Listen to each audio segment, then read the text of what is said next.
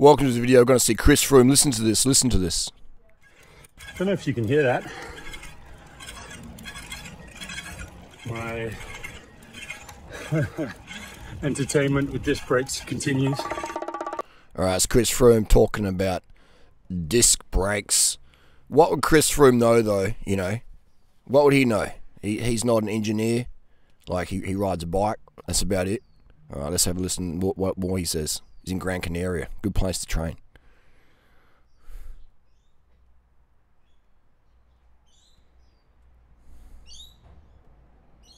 Jason has uh, really left me hanging. Invite the guy on training camp, and he just sits on the beach all day. So, yeah, not impressed at all. Not impressed at all.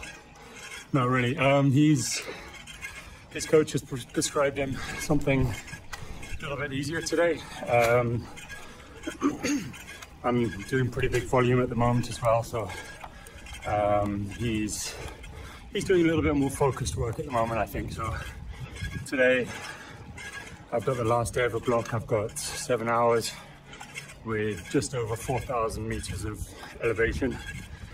Um, yeah, not not what he was down to do today, so that's why I'm alone. I don't know if you can hear that. My entertainment with disc brakes continues. Um, yeah, I think they're, they're still a work in progress. I think their technology is improving, but the, just the margins are so slim. You do a big descent and the alignment moves completely, so um, kind of need to stop and readjust everything again. So I don't know.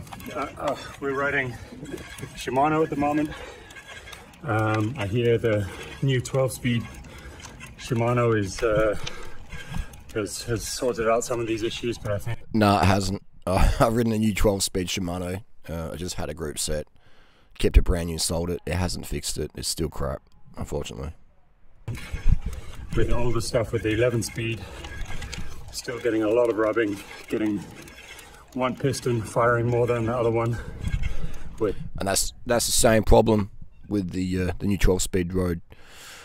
which uh, always puts things out of alignment.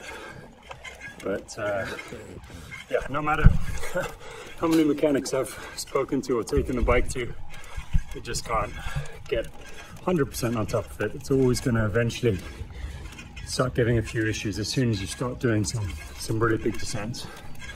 But c'est la vie. The time the time being, just put the earphones in and pretend I can't hear it. So there you go, Chris Froome, um, talking about disc brakes. Now, because Chris Froome is Chris Froome, he can be a little bit more open about that. Um, you know, he's made his coin. He's done his bit for cycling. He's done a great job. But yeah, man, straight up, you ask any experienced rider, they all absolutely hate road disc compared to the rim brake bike they had beforehand, like the quality rim brake. Rim race, rim road, that's where it's at. Um, now, for disc brakes, for sure, they're great application for gravel. I don't care my gravel bike if the road is rubber bit because I'm on gravel and I like the mud protection and all that stuff, you know. But when it comes to road race, I ain't using disc brakes, man. You know I mean? I ain't using disc. I don't need disc brakes to control a 25 mil tire, and I don't want fatter than 25 or even 28 mil tire on my road bike because I want speed. You know, I want speed, man. Uphill, downhill. You know, especially uphill. I want that speed. And if I want to run a fat tire, I'll use my gravel bike. So to cap it off, if you got fat tires wider than 32 mil, then disc brakes for sure. If you got skinny tires, 25 mil high pressure road race, you want every single second, you want maximum aero gains, it has to be rim brake. Disc brakes require extra spokes, and you got that big flappy fappy rotor. You got with 160 on the back, 140, you got extra 30 centimeters of surface area that you have to drag through the wind. You get a crosswind, all those extra spokes. You feel it. it's like a flywheel effect, just dragging you down. I mean, it's good for training, but if you want speed and want to go fast, so I guess you could go disc for training and then rim for race. Extra, extra faff and dead weight in training. and then you jump on your rim brake rim brake bike for racing or TTs or Strava, you're gonna fly, man. You're gonna feel like, man, this is where it's at. So disc brakes probably good for training because this is heavy and it feels more dead, you know, on the road bike. But when it comes, to, look at that, look at that, look at that front wheel, man. It's like there's nothing there. Just so lightweight, so aero. The mechanics love working on rim brake. Disc roads are a pain in the ass, man. Just ask any professional mechanic. All these noobs out there, all these hubbards out there. Oh, disc brakes better for road Durinator. What would Joe know? What would Chris Froome know? I know nothing. I'm a barrister doing a keto diet, and I just spent twenty thousand bucks on an S-Works SL7 tarmac because I don't know nothing. All right, you want to be a champ on the road. You want to be your champion. All right, your fitter self, your faster self.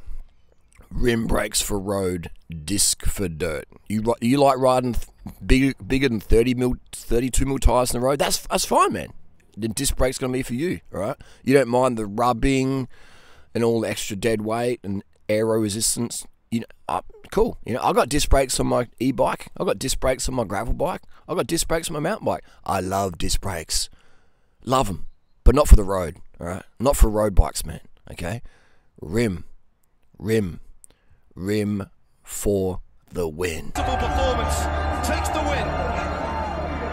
Yeah, doing, doing right. What would you know, mate? I watch GCN and they say that road disc is good and, and the latest is the greatest and, and you gotta get tubeless and hookless and run your tyres on your road bike for performance at 72 psi. The new Zipp, the new Zipp hookless mate, speed weaponry. Yeah, it's, it's sick, bro. It's like 4,000 bucks for carbon wheels and, and disc brakes. You don't wear your rims out. You swear out expensive rotors and you pay 4,000 bucks for carbon rims. It's a sick deal, mate. You know, you save money on your rims. And you got to buy a whole new bike for Ultegra, nine kilos, seven thousand pound, mate. It's a bargain. So, Durinator, you are wrong. Just like you're wrong about sugar. Chris Froome, he wins those stages in ketosis fasted training, intermittent fasted training. You don't need sugar. The body has no need for sugar. It's not an essential nutrient. You need fats, healthy fats. Why am I fat? Oh, stop, oh, oh, do me a runner!